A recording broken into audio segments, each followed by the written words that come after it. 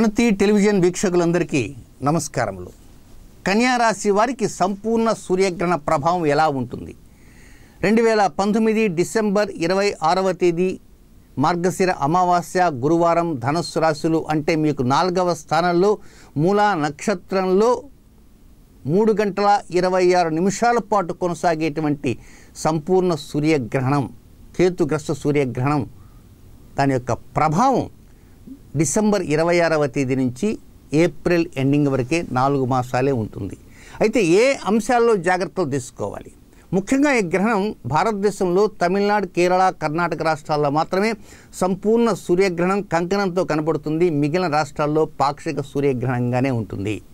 అయితే కన్యారాశిలో జన్మించిన జాతకులు ముఖ్యంగా గమనించవలసింది ఇదేమిటంటే ఎక్కడా ఆందోళన చెందాల్సిన అవసరం అంటూ లేదు.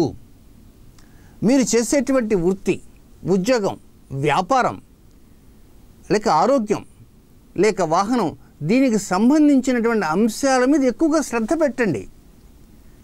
ఆ శ్రద్ధ ఎందుకు పెట్టాలి అంటే ఏదో ఒక వ్యాపారం చేస్తుంటారు. మీరు అనుకుంటారు అక్కడ ఏదో బాగా వచ్చేస్తుంది మనకు దాదాపుగా ఈ చిన్న కార్యక్రమంలో ఒక లక్ష రూపాయల వరకు ఆదాయం వస్తుంది అనుకోవచ్చు. కానీ అక్కడ లక్ష రూపాయల ఆదాయం రాకపోగా రెండు లక్షల రూపాయల ఖర్చు కనబడేటువంటి అవకాశం ఉంటుంది. అలాగే ఒక వాహనం ఉంది వాహనం రిపేర్ చేయిస్తారు. రిపేర్ చేయిస్తే ఆ రి- మెకానిక్ రిపేర్ చేసిన తర్వాత వెంటనే అది కంట్రోల్లో ఉంది అయిపో అంత రెడీగా ఉందని చెప్పి వెంటనే మీరు ఏదో దూర ప్రాంతాలకు ప్రయాణాలు వెళ్ళాలనే ఉద్దేశంతో మాత్రం ఉండకండి. ఒకటికి రెండు సార్లు మెకానిక్ అడగండి. లేకపోతే సెకండ్ ఒపీనియన్ తీసుకోండి. ఏమయ్యా బాబు ఇది వెహికల్ రిపేర్ చేసావు ఇప్పుడు నేను ఇక్కడి నుంచి వైజాగ్ వెళ్ళాలి. దాదాపు హైదరాబాద్ నుంచి ఏడు వందల కిలోమీటర్లు ఉంటుంది. నేను వెళ్ళాలి. మధ్యలో ఎక్కడ ఇబ్బంది పెట్టదు కదంటే పడండి సార్ ఇబ్బంది సార్ లేదు సార్ అంటాడు.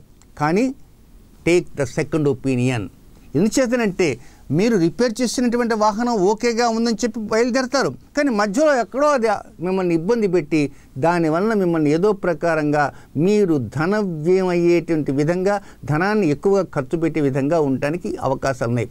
అలాగే ఉద్యోగ విషయంలో కూడా అలాగే ఆరోగ్య విషయంలో కూడా అలాగే గృహ సంబంధమైన ఆలోచనలు చేసేవారు ఉంటారు.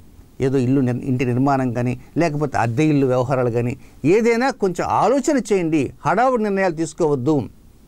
ప్రతిదీ కూడా నిర్ణయం తీసుకునే సమయంలో ఒకటికి పదిసార్లు నిర్ణయం తీసుకొని ఆ తర్వాతనే దాన్ని లైన్లో ఉంచడానికి ప్రయత్నం చేయండి తప్ప తొందరపడి వెంటనే ఇప్పుడు నిర్ణయం తీసేసుకుందాం. ఒక వస్తువే కొనాలి. ఒక కొత్త వాహనం కొనాలి. వాహనం కొనాలంటే అక్కడ ఏదో రేటు తక్కువగా ఉంది. వెంటనే వెళ్ళేసి అడ్వాన్స్ కట్టేయటం కాదు. ఒకటికి నాలుగు సార్లు అడగండి. ఈ వాహనం బాగుందా? కొత్తగా వచ్చింది. మార్కెట్లో ఇది ఎలా ఉంది? దీనికైనా మైనస్ పాయింట్స్ ఉన్నాయా? అనేటువంటి విషయాల్లో చాలా వరకు లోతుగా గమనించాలి అలాగే ఆరోగ్య విషయంలో కూడా మీరు గమనించండి. డాక్టర్ల గారు ఏమంటారంటే ఇదేం పర్వాలేదండి. ఒక నాలుగు నెలలు ఆగిన తర్వాత మనం దీనికి ఏదైనా శస్త్రచికిత్స చేద్దామన్నారనుకోండి నాలుగు నెలలు కదండి. ఒకవేళ అవకాశం కనుకుంటే నా దగ్గర డబ్బులు ఉన్నాయండి. నా దగ్గర డబ్బులు లేవు కదా అని చెప్పి మీరు ఏమైనా నాలుగు నెలలు అంటున్నారా? లేక వాస్తవంగా నాలుగు నెలల తర్వాతనే చేస్తారా అని క్లారిటీగా డాక్టర్ గారిని అడగండి. ఒక్కోసారి కొంతమంది డాక్టర్లు ఫ్యామిలీ డాక్టర్స్ ఉంటారు. ఓ తొందర లేదు ఒక మూడు నెలల తర్వాత చేయొచ్చు ఈ లోపల ఈయన కూడా నాలుగు రూపాయలు సంపాదించి దగ్గర పెట్టుకుంటాడు ఖర్చులకు ఉంటాయన్న ఉద్దేశంతో కూడా ఉంటాడు కనుక డాక్టర్లకి దగ్గరికి వెళ్ళినప్పుడు అయ్యా డాక్టర్ గారు ఈ శస్త్రచికిత్స జరగా చేయాలనుకుంటున్నారు. దీనికి ఇంత డబ్బు ఖర్చు అవుతుంది. ఎంత అవుతుందో చెప్పండి. నేను రెడీ చేసుకుంటాను. నేను రెడీ చేసుకోవటం ఆలస్యం అవుతుంది కదా అని చెప్పి మీరు ఏదో నాలుగు నెలలు మూడు నెలలు చెప్పకండి. ఖచ్చితంగా చెప్పడానికి ప్రయత్నం చేయండి అని సూటిగా అడగటానికే ప్రయత్నం చేయండి. ఎందువల్లంటే డాక్టర్ గారు చెప్తారు కానీ ఒక్కొక్కసారి డాక్టర్లు చెప్పినప్పటికీ నాలుగు నెలల్లో చేయవలసిన ఆపరేషన్ ఒక రెండు నెలలు చేస్తుంటే బాగుండేదండి పొరపాటు అయిపోయింది అని తర్వాత నాలుగు ఖర్చుకోవాలి కనుక ఆరోగ్య విషయాలపైన కూడా శ్రద్ధ తీసుకోవడానికి ప్రయత్నించండి ఎక్కడ ఆరోగ్య విషయాల్లో డాక్టర్లు చెప్పినటువంటి నిర్ణయాల్ని సెకండ్ ఒపీనియన్ కూడా తీసుకొని వీలైనంత వరకు ఒక పది రోజుల తర్వాత రండి అంటే మళ్ళీ ఐదు రోజుల తర్వాతే వెళ్ళడానికి ప్రయత్నం చేయండి. ఈ మందులు పది రోజులు మింగండి అని చెప్పాను అనుకోండి పది రోజులు మింగండి అయిన తర్వాత మింగేసి కామ్గా ఉంటాం కాదు. ఆ ట్యాబ్లెట్స్ తినిన తర్వాత టెన్ డేస్ అయిన తర్వాత డాక్టర్ గారు మందులు అయిపోయినాయండి. మళ్ళీ దీన్ని కంటిన్యూ చేయమంటారా ఆపమంటారా అని అడగటానికే ప్రయత్నం చేయండి. అంతకు మించి ఆందోళన చెందాల్సిన అవసరం లేనే లేదని కన్యారాశి జాతకులు గమనించండి. నమస్కారం.